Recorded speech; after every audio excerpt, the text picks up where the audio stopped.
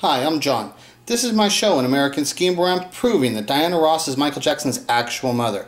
So I made a video yesterday, I titled it Billie Jean, Raiders of the Lost Ark. And yeah, I, I don't think anybody understood like what I was trying to convey by putting those two together specifically with that part of the song and specifically with that part of the movie. So I want to go ahead and explain a little bit about that. And it's because one of the parts of the song, the part that I had used in that was the for 40 days and for 40 nights part, is that um, I'm not 100% sure about like what Michael Jackson is saying there, okay? But I'm just going to, so in here, I'm going to show you about, these are my thoughts about that part of the song. And I'm going to show you some of the reasons and things that are going on there. Um, but I'm not 100% sure about that part of the song, what he's actually saying. Uh, it's a little bit tricky. So let me go ahead and show you a couple things. So first, this is that video. This is the video I had made yesterday. Let me play this.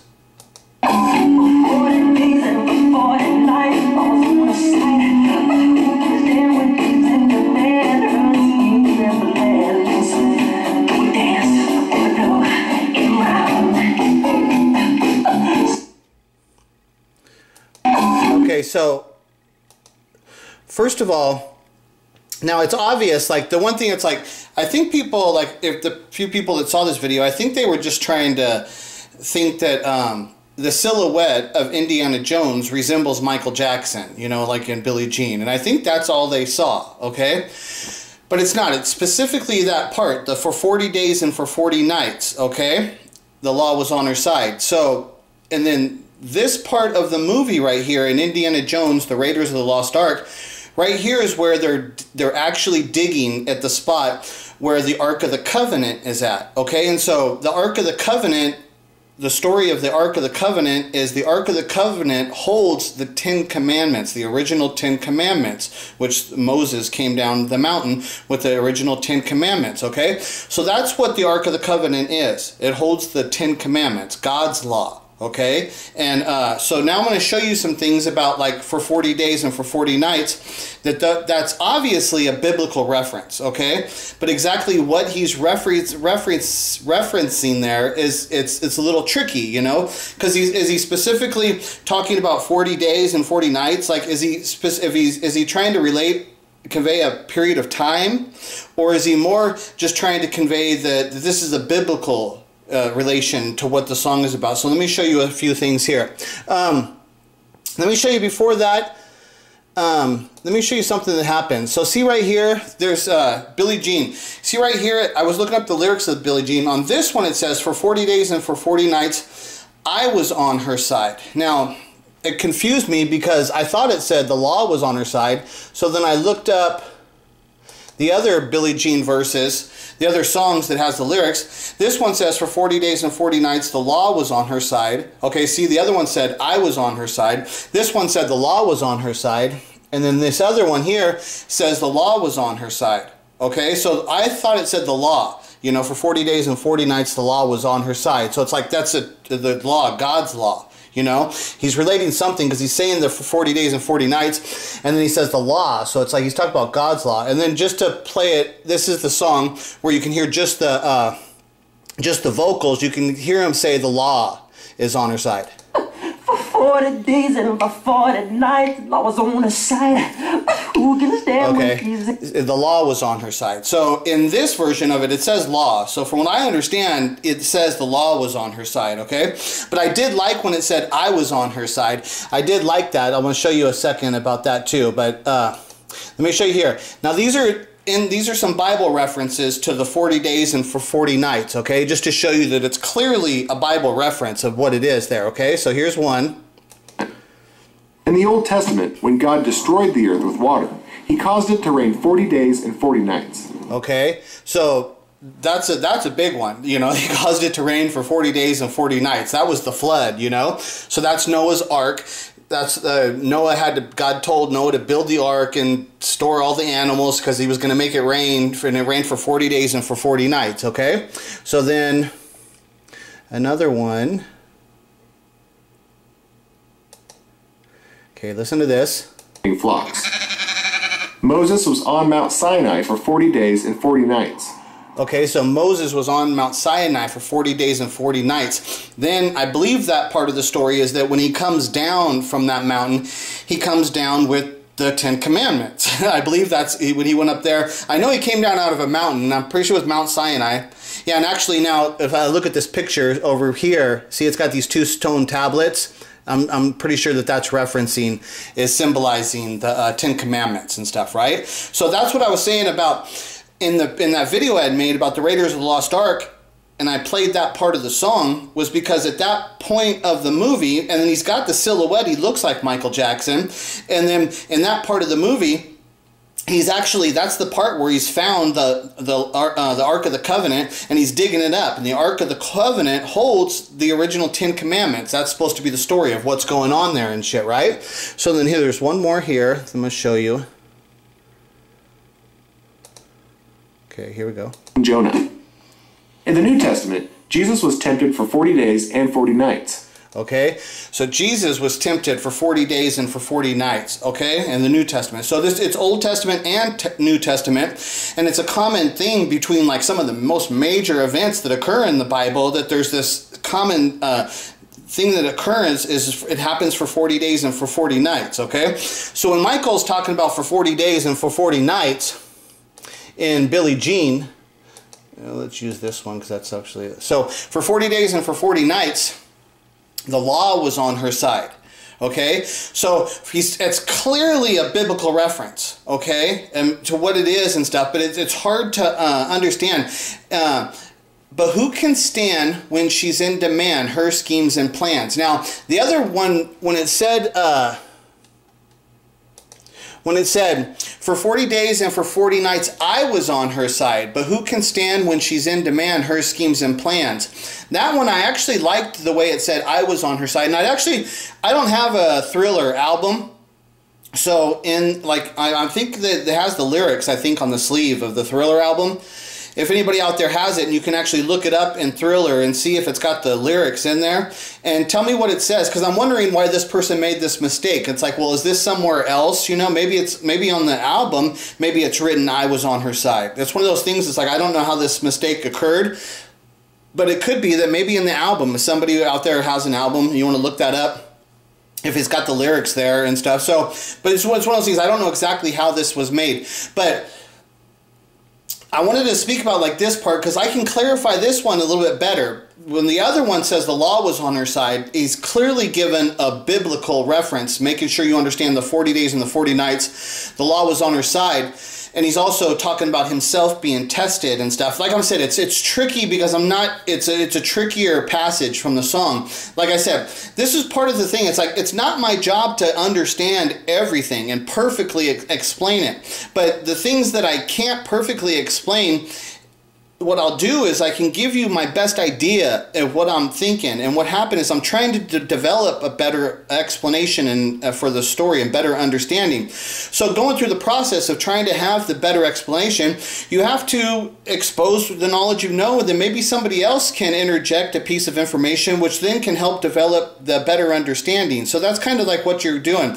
and. uh you're just trying to you're, you're constantly working on it you're trying because i'm trying to explain what's in michael jackson's mind i can i can understand what he's talking about but to get the perfect explanation of it now that's it's a very tricky thing it's not so easy to do and stuff right but so for 40 days and for 40 nights I was on her side.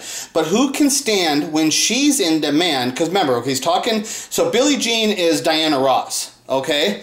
And uh, Michael's talking about that. I know that at the time that Diana, when Michael moved into her house after the Jacksons signed to Motown, they moved into Diana Ross's house. I know for sure that that's when Diana Ross told him, and that's what they say in in this uh, song Billie Jean. He says, you know, this happens much too soon. She called me to her room, and I know that that's what he's talking to. He's referring to that moment in time, and that's the time of which she told him, because that's obviously when she would have told him. That's why they're living in her house, is so she can have this opportunity and stuff, right? So I'm gonna this is a passage from Michael Jackson's book Moonwalk. I'm just going to read to you a part of it here. It says, uh, When we finally moved to Southern California, we actually lived with Diana and stayed with her for more than a year on a part time basis. She was so wonderful, mothering us and making us feel right at home. She really helped take care of us for at least a year and a half while my parents closed up the Gary house and looked for a house we could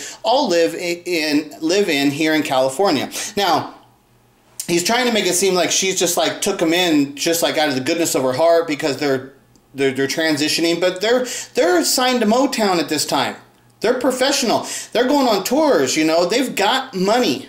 There's no there's no reason they and there is there was another house that they rented. There's no reason that they can't just rent a house because that's tax deductible stuff. That's all tax write-offs. All those things are like tax expenses, your living expenses. If you have to live there because that's the business and stuff, all that stuff's like tax stuff. And Berry Gordy works all that stuff. So like the reason for them to live there to say that it's an issue because the house that's not a real reason.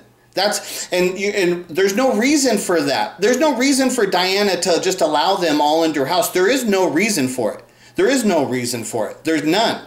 There's no reason for that to be occurring unless Michael Jackson's actually Diana's child, and she wants to have this time with him. And because she had given him away, so there's all that time of what she missed out on. Now she's got the time, and she wants to tell him the truth, and she wants to spend all of this time with him. That's why they're living there. And that's why Michael says that they would go out alone, just the two of them. And so, so he says, uh, this was an important period in my life because Diana loved art and encouraged me to appreciate it too. She took the time to educate me about it. We we'd go out almost every day, just the two of us. See, just the two of us. That's the. It's like, well, why is that occurring? Because if, if Diana is supposed to be wanting to nurture, if she's mothering, okay, if, she, if like he said, he's mothering, right? Mothering us, us. He says mothering us and making us feel right at home. But then why would she take Michael out alone almost every day? Just like he says there, that does not make sense. We'd go out almost every day, just the two of us. That doesn't make any sense. Just eh, that he that he put that in there. Just that we go out almost every day, just the two of us. That well, how is she mothering the Jacksons and being like a mother figure to the whole Jackson family when she's clearly isolating Michael from the family and showing all this attention to Michael? That it's all about Michael. There's just no doubt about it. And this is that's what the song Billie Jean is about. So let me put it on i know it says the law was on her side but i'm just going to use this one because i actually it's it's, it's kind of easier for me to explain it. Now so for 40 days and for 40 nights it says the law was on her side but then this one says i was on her side. So let's take it in the context of like michael saying he moved into diana ross's house and then they would go out almost every day alone, right? So he's he's saying that he's being tested. This is like a it's like a thing like how Jesus was tested and Moses was tested and for 40 days the, it rained for 40 days and 40 nights. There's some kind of big biblical that this was like he's saying when he first lived with Diana, there's like this uh biblical environment of how he's being tested because now he's being tested between the like I said I don't know exactly but I'm just going to try and explain it to the best of what I can. I'm trying to share my thoughts with you. So Michael's showing you here that he's being tested by God because the other one the law was on her side. So he's being tested by God's law. He's he's like being uh, pulled between the two families the the birth mother and then the family that he was raised with you know? But he was on her side because that's what it just said that when uh, when he first moved in there he was constantly with diana. She would take him out every day. So he's like he's on her side. He's like on her hip. He's right there. But he says but who can stand when she's in demand? Her schemes and plan. But so michael's saying but i how could i stand up? How could i stand next to her forever when she's in such demand because it's Diana Ross that he's talking about. And then she's got her own schemes and her own plans of building getting a husband and having a family because remember also she was with Berry Gordy and had a kid, but then she marries the uh, Robert Ellis Silverstein guy and then they tell the Tracy or not the Tracy the uh, Rhonda Rhonda Ross they tell Rhonda that the Silverstein is her father when actually her father was Berry Gordy. So that's what I'm saying. It's like it's Diana Ross. She's she's in demand. See right there, it shows like she's in demand. She's a star. She's a singer. She's making movies. She was dating Berry Gordy, but now she's hooked up with the Silverstein, and then she's gonna have babies and trying to get married and have a family. See, it's her schemes and plans. Okay, and then they danced on the floor in the round. This was the dance of what they started to do. They started at that time. There's this dance now, this dance that's going to take. They're constantly dancing together, like they did the movie The Wiz. They make songs together. They're constantly in uh, uh, out in public together at appearances and shows, and they're always together. They're constantly doing things. That's the dance of what begun. Uh, started at that time. After he moves into the house and she tells him the truth, then they're now they're they're joined together in this dance that they're doing. That's the dance on the floor and the round of what they're doing. I think the floor and the round is something about the public too. It's a uh, it's a thing that's taking place in the eye of the public. Okay, they're doing this dance in the eye of the public. It has something to do with that and stuff, right? Like I said, it's hard for me to exactly explain what it is, but I can tell you my thoughts about what I'm seeing and my understanding of this and stuff, right? So it's clearly it's like where's this Billie Jean? How is how does that even relate to this stuff? You know, it it doesn't. that the Billie Jean story is so below and beneath the the uh, intense the intensity and the truthfulness of the Michael Jackson and the Diana Ross relationship is which is clearly expressed in this song. The Billie Jean does not is not involved in this stuff. I mean, you know, the Billie Jean is like the groupie stuff the the unknown groupie trying to cling on to the stars that doesn't have anything to do with what these words are about. These words are about the real experience of what michael was having to deal with when uh, like i said it's like the gods for, for 40 days and for 40 nights the law was on he says the law was on her side. Yeah the law was on her side. He's being tested. He's being tested by god. And it's like how would he be tested by God? It's like, well, if he now is being reunited with the mother who gave birth to him, who's trying to rekindle this relationship, but he's part of the Jackson family, and that's the family that actually raised him. Now you can see how Michael's having that feeling of being tested by God. You know, it's it's crazy shit. And the, the law was on her side. I guess that would be because she's the birth mother because she is the birth mother, that's God's law. That's the connection. But Michael, he couldn't stand up, but who can stand when she's in demand? Her schemes and plan. Like what can Michael do? There's like he was being pulled between the two families. How could he actually please Diana and fulfill like her obligation with him and her and what's going on? When she can't acknowledge him as being her real son. There's just this weird shit that's going on. And that's what I'm saying. These words are, it's, it's high level art. And it's Michael Jackson expressing to the best of his ability at the top, he's at the top of his game. And when he's doing this, and this is like his number one life experience that influenced his life, that altered his life, and everything's.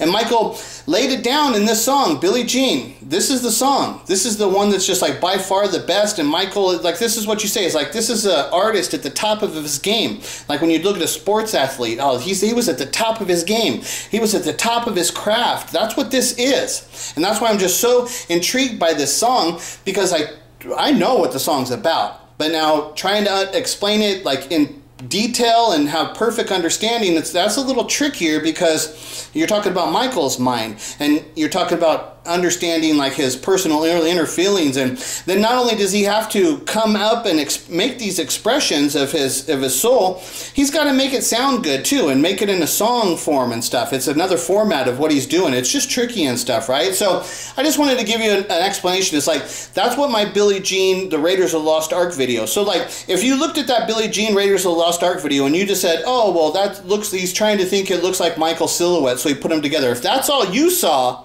well, you didn't see anything.